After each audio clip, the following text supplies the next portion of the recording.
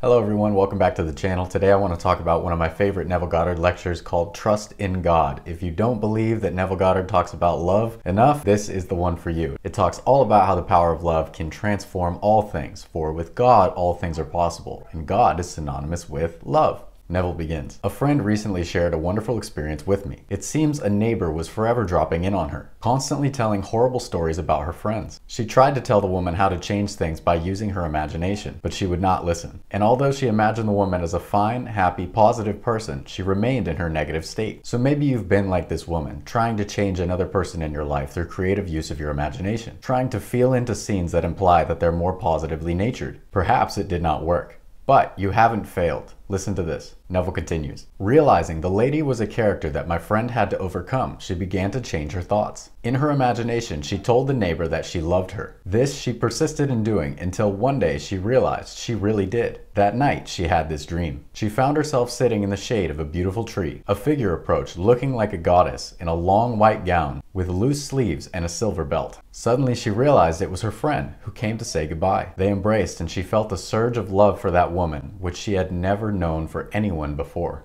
The next day, the lady came to her door and said, I gave my notice this morning and I came to say goodbye. Now, why did this method of loving the woman in her imagination work? Because to God, all things are possible, and God is love. When in doubt, do the loving thing. We try up and down to manifest changes in our lives and then become doubtful if it does not work. But the question remains Have you done the loving thing? Loving attention brings the wilted flower to life again, it turns the stray to a house pet. And in this case, it turns the negative into a goddess or angel. Love is the answer. It is the greatest of all things. Neville continues. Then my friend added this thought. If I could fall as much in love with the being within me as I did with this woman, I would be completely transformed, which in turn would create great changes in my outer world of effects. For now I know my friend's transformation took place within me. Can you love your inner being, God, imagination? I tell you, there is no greater use of your attention. When you love your imagination, you are loving yourself, your true self. For that is the God of all things, and the being which brings to life all that which you desire. Neville adds Scripture tells us to love God because he first loved us, and that we should imitate him as a dear child. How is this done?